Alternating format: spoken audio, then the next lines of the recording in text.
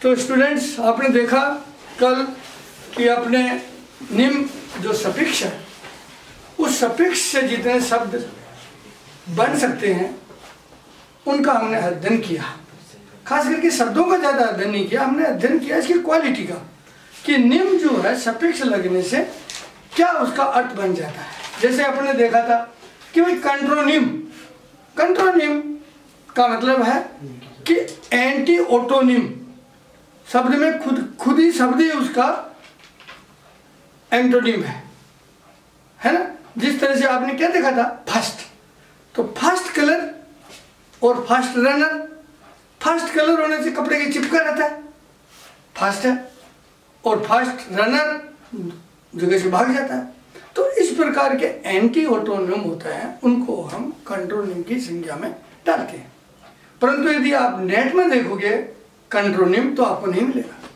कोई भी साइट पर नहीं मिलेगा। आपको बनना पड़ेगा एंटी ऑटोनियम और उसके अंदर ज़रूर कंट्रोनियम आ जाएगा, परंतु स्वयं कंट्रोनियम भरोगे तो नहीं आएगा। तो इस तरह से मैं वापस इनको नहीं दोहराना चाहता, क्योंकि समय की लिमिटेशन है। ये अपन ने सारे किए थे। आज अपन जो करेंगे, ये एपोनिम, एंटोनिम, यहाँ से शुरू करेंगे। परंतु मैं ये मानता हूँ कि बाकी जो निम से सपिक्ष जो शब्द बनते हैं, वो तो एक अपना कलर प्रदान करते हैं शब्द को। परंतु एपोनिम शब्द ऐसा है जो अंग्रेज़ी भाषा में स्वयं शब्द जोड़ते हैं। स्वयं शब्द जोड़ते हैं कलरफुल शब्द जोड़ते हैं। तो आज हो सकता है कि अपना जो वीडियो है, पूरा एपोनिम में समाप्त हो जाए। क्योंकि ज़्यादा पंद्रह मिनट से अपन वीडियो ज़्यादा बनाएँगे नहीं। परंतु मैं समझाना चाहूँगा कि एपोनिम यदि आपने समझा है, और जहाँ जहाँ ये एपोनिम्स के शब्द आएँगे, तुरंत आज आप मीडिया निर्माण शब्द का टाइम का ध्यान कर लेना कि हमने उस दिन पढ़ा था। तो देखिए एपोनिम का मतलब यह है कि कोई शब्द बनना, कोई शब्द बनना किसी नाउन से, चाहे वो नाउन वास्तविक हो या फैंसी हो। या इमेजिनरी हो। उनसे कोई शब्द बनता है नाउन बनता है, उसको हम एपोनिम कहते हैं। जिस प्रकार से आप एग्ज़ाम्पल के तौर पर लो वाट आप सब जानते हैं वाट वाट क्या होती है? आपने देखा है कि साहब ये दस वाट का बल्ब है, पाँच वाट का बल्ब है, पचास वाट का बल्ब है। तो ये क्या है वाट ये जेम्स वाट जेम्स वाट जिन्होंने जिन्होंने एनर्जी का अध्ययन किया। और पावर का जो यूनिट है, उनके नाम से उनको सम्मान देने के लिए हमने वाट कर दिया। डब्ल्यू ए डबल टी वो वाट तो वाट मानी एनर्जी की एक यूनिट है। तो आज हम वाट शब्द का इतनी सहजता से उपयोग करते हैं कि हम ये ध्यान नहीं देते कि वाट का उत्पत्ति कैसे हुई है। ये जेम्स वाट से हुआ है। इसी तरह से Celsius degree centigrade Fahrenheit degree centigrade. ये भी उन सज्जनों के नाम से हैं जिन्होंने टेम्परेचर को मापने के लिए थर्मामीटर का निर्माण किया था। ये तो बहुत आसानी से प्रचलन में है। परंतु आपने देखो कभी सुना है एटलस नक, नक्शों की एक किताब। नक्शों की एक किताब। वो उस पर एटलस पर जो चित्र छपा रहता है वो किसका चित्र है? वो जिस व्यक्ति का चित्र हम मान के चलते होंगे कि ये एटलस है, एक मोटा ताज़ा सज्जन है, उसके कंधे पर पूरी पृथ्वी रखी हुई है। और उस वो चित्र देखते ही हम कह देते हैं कि ये तो एटलस है, यानी नक्शों की पुस्तक है। ये एटलस का नाम आते ही सोचे ही, सोते ही हमारे जो है, ये ध्यान में आ जाता है कि ये नक्शों की किताब है। पर ये कैसे आया? इसके हर शब्द के पीछे, एपोनिम के पीछे कहानी छुपी हुई है। और यदि आपने कहानी याद कर ली तो वो शब्द भी याद हो जाएँगे। तो माइथोलॉजी रोमन माइथोलॉजी के अनुसार ये माना जाता है कि एक बार टाइटन्स टाइटन्स भी बहुत ताकतवर सुपर ह्यूमन्स थे और ओलंपियन गोड्स उनके बीच में युद्ध हुआ। और ओलंपियन गोड का जो मुखिया है, वो जूज है। और टाइटन्स का जो मुखिया था, इसका नाम, व्यक्ति का नाम था एटलस तो जब ये हार गया, ये टाइटन हार गया एटलस तो जूज ने इसको यह सजा दी कि तू पूरे जो हेवंस है, उसको अपने कंधे पर लेकर खड़ा रहे। बस तेरा काम यही है, कंधे पर लेकर लेकर खड़ा रहे। तो वो जो चित्र है, अपने कंधे पर लेकर खड़ा रहता है, वो सजा भोगता है। उसको हम एटलस का चित्र है। और नक्शे वालों, नक्शे बनाने वालों ने वो चित्र अपनी किताब पर छाप दिया और इसका यह बिल्कुल समानार्थी हो गया कि एटलस का मतलब है नक्शों की किताब। तो ये एपोनिम है एटलस का। इसी तरह से आप देखो बाइकाट किसी का बाइकाट करते हैं? बहिष्कार करते हैं? बाइकाट कैसे आया? आपने, ये एपोनिम है बाइकाट एपोनिम है बाइकाट बाइकाट नाम का एक लैंड एजेंट था आयरलैंड में। और उसने वहाँ के आसपास के किसानों ने कहा कि साहब, अब जो है, अब लगान घटाइए लगान कम करिए ज़मीन का। तो उसने जो है, लगान कम करना मना कर दिया। उसने मना कर दिया तो गाँव वालों ने भी कहा कि तुमसे हमारा कोई लेना देना नहीं। तुम्हारे ज़मीन है, उस पर हम मजदूरी भी नहीं जाएँगे। तुमको कोई सामान ज़रूरत का चाहे तो हम देंगे नहीं, और तुमसे हम कोई सामान लेंगे नहीं। अल्टीमेटली उस बाई काट को वह जगह छोड़ के भागना पड़ा। और उस, इस जो, ये जो घटना घटी, और इस प्रकार की भविष्य में जो घटना घटाने चाहते हैं, उसको हम बाइकाट कह देते हैं। आप सरलता से यूज़ कर लेते हो, परंतु ये एपोनिम है। एपोनिम है। इसी तरह से आप देखो, पैनिक पैनिक पैनिक माने भयंकर डर लग गया। ये भी एपोनिम है। एपोनिम कैसे है? कि देखिए, माना जाता है कि पान पी एन पान। पान एक शेफर्ड का गोड़ था। शेफर्ड मानी चरवाए पुराने टाइम में तो चरवाओं से आमदनी होती थी, यही धन था। अपने यहाँ इंडिया में ऋषि मुनियों का धन गाय ही थी, और कोई ज़्यादा नहीं थी, जिसकी जितनी ज़्यादा गाय, वो उतना ही धनवान तो पेन जो गोड था शेफर्ड गोड उसकी शक्ल गोट जैसी थी। इनकी हो सकती है गोड्स की शक्ल शक्ल जैसी हो सकती है, जैसे अपने गणेश जी की भी शक्ल है वैसे। तो इनकी जो शक्ल थी, वो गोट जैसी थी। और जब ये चिल्लाते थे ना तो सारे चरवाए सारी भेड़े डर जाते थे। तो ये डरने का जो भाव है, वो पेन से पैनिक हो गया। यानी पेन से संबंधित। तो मेरा कहने का मतलब यह है कि यदि आप एपोनिम्स की ही लिस्ट बनाएँगे तो इस एपोनिम्स ने अंग्रेज़ी भाषा को बहुत समृद्ध किया है। अब आप एक बात और सोचिए, जैसे डीजल है, आप डीजल बनवाते हैं। ये डीजल भी एपोनिम है। रूडोफ डीजल ने डीजल को एकत्र करके इंजन की एफिशिएंसी बढ़ाई, या मतलब एक एनर्जी पैदा करी। उसके नाम से हमने उस लिक्विड का जो फ्यूल है, ईंधन है, उसका हमने डीजल नाम रख दिया। तो कहने का मतलब है कि लिस्ट बहुत लंबी है। परंतु आप यह समझना कि एपोनिम होता क्या है। एपोनिम किसी दूसरे नामों से, कामों से, उनसे हमने कोई नाउन बनाया। तो उसको हम एपोनिम कहते हैं। अब आपको मैं थोड़ा और बताऊँ सैंडविच आप बहुत आसानी से कर लेते हैं सैंडविच। कि सैंडविच क्या होता है? कि साहब दो ब्रेड, दो रोटी ली और उसके बीच में आपने सब्ज़ी भी डाल ली और दबा करके और फिर उसका आपने एक बंडल सा बना करके साबना शुरू कर दिया। इसको तो आप सैंडविच कहते हैं। तो किसी समय तो किसी ने किया होगा ना। परंतु ये जो किया था, इस प्रकार का भोजन करने का प्रयास किया था, वो सैंडविच आर लव सैंडविच थे। और वो एक जुआ जुआ खेलते थे। और जुआ खेलते वक्त वो अपनी टेबल को नहीं छोड़ना चाहते थे।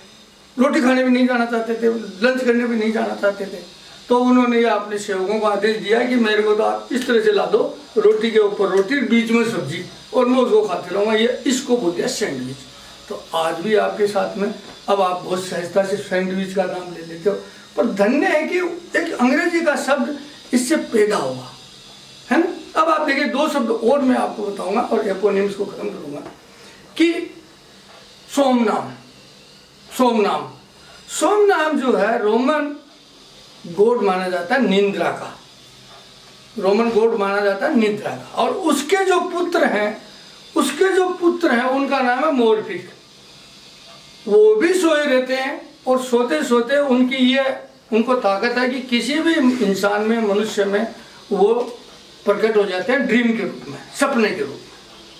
तो इसीलिए आपने कोई ड्रग ली है और आप सपनों में सोए हुए हैं तो इसका मतलब वो जो ड्रग जो आपको इस तरह का भाव पैदा कर देती है, उसको हम मोरफिन बोलते हैं। मोरफिन मोरफिन शब्द आया है, मोरफिक से। तो मैं आपसे कहूँगा कि आप एक बार आज आज इसको एपोनिम शो कर लें। और एपोनिम शो करके लिस्ट बहुत बड़ी है। लिस्ट को यदि आप देखोगे तो भाषा को बहुत समृद्ध किया है और बहुत आनंद दिया है, बहुत आनंद दिया है। तो एपोनिम्स तो इस तरह से आपका कंप्लीट हो जाएगा। अब नेक्स्ट आता है एंटोनिम एंटो एंटो मीन्स विरुद्ध एंटी निम मानी नाम। विरोधी नाम। अब आपने कोई नाम लिया, उसका विरोधी नाम क्या? है ना? जैसे मान लो कि आपने नाम लिया, गीला वेट तो इसका एंटोनिम क्या होगा? ड्राई गीला का सुख ड्राई और इसी तरह से आपने लिया मान लो गे गे मानी खुश वेरी गे पर्सन तो उसका एंटोनिम हो जाएगा डिप्रेस्ड तो ये तो एक तरह से डायरेक्ट जो है एंटोनिम बन जाते हैं। पर इसके अलावा जो एंटोनिम बनते हैं, वो प्रीफिक्स लगाने से भी बन जाते हैं। और आपके हिसाब से आपके फ़ील्ड में आपको ये सीखना चाहिए कि कौन कौन से वो प्रीफिक्स हैं जिससे कि एंटोनिम बन जाता है। अब आप देखिए ना कि एबल तो इसका यदि मुझे एंटोनिम बनाना है तो क्या बनाऊँगा? अनेबल। दूसरा मुझे बनाना है इंपॉर्टेंट तो मैं अनइम्पोर्टेंट बनाऊँगा। अब इसी तरह से मैं बताऊँगा कि मान लो मान लो एक तरह से मिस मिस तो अब मिस मैं लगाना चाहता हूँ। तो मिस में क्या करूँगा मैं? कि mis treatment mis treatment treatment mis treatment इसी तरह से फिर इन इन एबिलिटी और इनएबिलिटी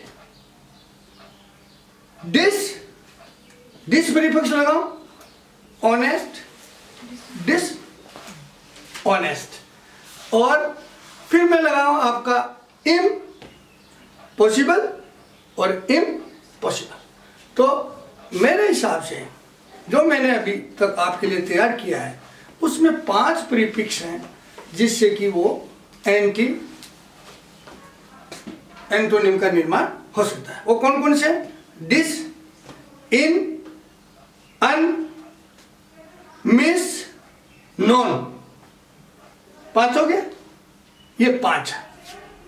यानी डिस इन इम नॉन मिस अन इससे आप पाँच निर्माण एंटोनिम भी कर सकते हैं। सिनोनिम में तो समान अर्थ है। वही अर्थ रहना चाहिए। एंटोनिम में उसका एंटी अर्थ होना चाहिए। तो उससे आपका ये एंटोनिम बन जाएगा। तो eponym is very important antonym is important but it does not give us a different word different word नहीं है, उसी को प्रीफिक्स या सफिक्स लगा करके हम बना देते हैं। तो फिर नेक्स्ट इज़ जो निम का प्रीफिक्स है वह होमोनिम होमो होमो मीन्स क्या होता है? समान. एक जैसा. समान. तो मैं आपसे पूछूँ कि भाई, जैसे मान लो मैंने बोला, मैं बोलता हूँ कि फेयर फेयर और कोई सेंटेंस मैंने नहीं बोला तो आप फेयर का क्या अर्थ लगाएँगे? आप लगाएँगे कोई मेला? या फेयर मानी अच्छा। फेयर वर्क अच्छा। पर जब तक संदर्भ नहीं बताऊँ, तब तक आप इसका अर्थ पेंडुलम की तरह झूलते रहोगे। या तो अच्छा है या फेयर तो होमो शब्द वही है। ध्वनि वही है फेयर और इसी तरह से मैं लिखूं। लीड तो लीड लिखा मैंने। तो हो सकता है कि ये शीशा मेटल हो या लीड माने, लीडरशिप करने की बात हो, लीड करना हो। अब इसी तरह से मैं लिखू, मान लीजिए देर और यहाँ मैंने स्पेलिंग चेंज कर दी देर तो मैं आपको यह बताना चाहता हूँ कि दो संभावनाएँ हो सकती है। एक तो यह हो सकती है कि स्पेलिंग बिल्कुल सेम हो, और अर्थ जो है संदर्भ पर निर्भर करेगा। दूसरी है कि स्पेलिंग डिफरेंट हो। आवाज़, फ़ोन, माने बोली जो है, वो समान। इसलिए होमोनिम की दो ब्रांचेज हो सकती है होमोग्राफ और होमोफोन होमोग्राफ का मतलब है कि ग्राफ माने स्पेलिंग सेम और होमोफोन का मतलब है ध्वनि सेम परंतु उनका अर्थ जो है, वो अलग अलग होगा। अर्थ सेम नहीं होगा। जैसे मैं आपसे बोलता हूँ कि टू टू टू। अब ये क्या है? होमोफोन है, होमोग्राफ नहीं है। होमोफोन है। बोलिए किसी बोल पा रहा हूँ। परंतु यदि संदर्भ लूँगा ना तभी आपको इसका फ़र्क पता लगेगा। अन्यथा मैं जब तक संदर्भ नहीं लूँगा तो आपको एक जैसा ही लगेगा। मैं आज आपके सामने केवल होमो, एपोनिम, एंटोनिम और होमोनिम। इतना ही करना चाहूँगा। एक शब्द में आज, क्योंकि निम्न के अपन ने बहुत ज़्यादा कर लिए हैं, एक हम, जो परिपिक्ष आता है निम्न, उसका भी एक शब्द कर लेते हैं। परिपिक्ष आता है। सफिक्स के निम्न तो अपन ने कर लिए हैं। एक प्रीफिक्स का निम्न भी अपन कर लेते हैं। तो nymph N Y M P H अब निम्ब इसमें है प्रीफिक्स और पी एच है केवल तो निम्फ मानी क्या होता है? ब्यूटीफुल मेडन कुंवारी सुंदर कन्या। कुंवारी सुंदर कन्या। अब इतना तो मैंने बोल दिया निम्फ का। पर इसका यदि आप जूलॉजी के स्टूडेंट हैं तो आप अर्थ अलग अलग लेंगे। जूलॉजी के स्टूडेंट है तो इसका अर्थ अलग लेंगे। क्योंकि जूलॉजी में निम्फ होता है, जो इंसेक्ट का डेवलपमेंट होता है। इंसेक्ट के जो चार स्टेजेज हैं, उसको जो इसी अडल्ट अवस्था में आने के लिए, उसका पहला स्टेज होता है लार्वा पहला स्टेज होता है एग दूसरा होता है लार्वा तीसरा पीपा, और चौथा होता है इमेगो, यानी अडल्ट स्टेज एक स्टेज ऐसी आती है जिसमें लार्वा और प्यूपा का डिस्टिंक्शन नहीं होता है। इंसेक्ट का जो अडल्ट रूप होना चाहिए, वो पूरा नहीं आता है, उसको भी हम निम्प कहते हैं। उसको भी हम निम्प कहते हैं। तो इसलिए जूलॉजी का स्टूडेंट होगा निम्प का मीनिंग वो लेगा। और यदि दूसरा स्टूडेंट होगा तो वो लेगा निम्प मानी सुंदर कुमारी कन्या। और यदि रोमन माइथोलॉजी से लोगे तो वो तो ये मानते हैं कि समुद्र हो, नदियाँ हो झीलें हो या पहाड़ हो, इनमें सुंदर कन्याओं का वास होता है। सुंदर कन्याओं का वास होता है, जिस प्रकार से अपन ने इको और नार्सिसिस की स्टोरी सुनी थी। ना, इको अभी तक जंगलों में घूम रही है, पहाड़ों में घूम रही है। कि तुम कहा? तो उसका आवाज़ आती है, तुम कहा? वो कहेगा, मैं यहाँ। तो नार्सिस क्या कहेगा, मैं यहाँ। दोनों, वो की वही आवाज़ गूंजते इसीलिए उसको हम बोलते हैं इको यानी वो जो निप है, निम्फ है, अभी भी पहाड़ों में घूम रही है। इसलिए मैं आज का वीडियो बहुत ज़्यादा बड़ा नहीं हो जाए। और आपको थोड़ा सा ये तीन शब्दों में मैं अच्छी तरह समझा दूँ। ये समझ लिया? आप अच्छी तरह समझ लो। और खाली अपने तक ही मित सीमित रखना, अपने जो मिलने वाले हैं, उसका भी भला चाहना, उनको भी बताना। ये बता करके आप जो है इसको अच्छी तरह से सीख करके कल मेरे पास फिर आना, पुनः अपन वीडियो बनाएँगे।